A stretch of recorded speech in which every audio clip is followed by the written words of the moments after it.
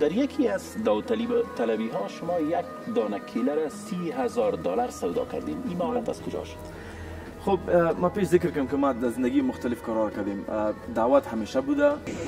پنج سال پیش برای خیریت افغانستان شروع کردیم. دعوت خودم مالیزیا می‌کردم. هم در جایی که امکانات پیدا میشه آنلاین و آفلاین دعوت به غیر مسلمین می‌کنم مذاکرات می‌کنم.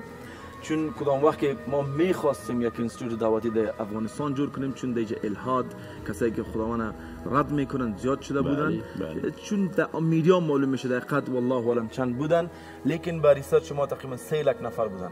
و امروز هم شما دمیتون در تیک تاک مردم بله، هستن در social media مثلا فعالیت خود دارن.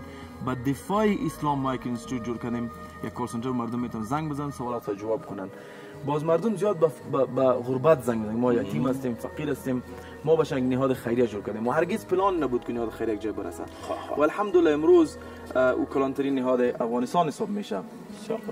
و به می خاطر ما کدام وقت لندن بودم گفتم چرا نه یک پروگرام داشته باشیم تا بتونیم با افغانستان پیسه جمع کنیم.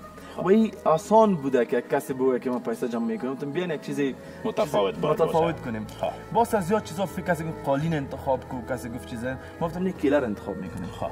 میگه چرا کیله ما می سوالی که می‌کنین چرا کیله به می خاطر کیله انتخاب می‌کنم خب چرا را؟ ما هم باید بذاریم. چرا شما کیله انتخاب به خاطر اینکه مردم سوال چرا کیله انتخاب کردیم بله.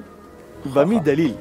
که مردم بازور ما ده بولی انداختیم و این کیله قیمت کیله نبوده. این قیمت بله، بله. بولی با مشکلات افغانستان بود.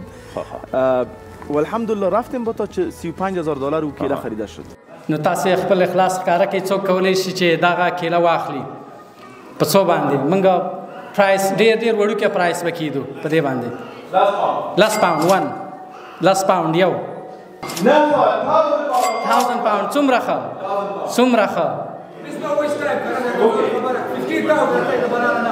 Oh no 15000 پنځل زره ماشاءالله فرهاد 20000 پاوند شل زره پاوند باندې فرهاد دا کلا خسته ده د افغانستان لپاره هیله ده امید د افغانستان لپاره نران دو کسان را برابر شو 30000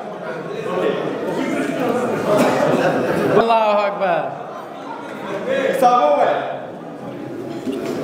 Number yo. Dir zara yo. Thirty thousand one. Dir zara yo.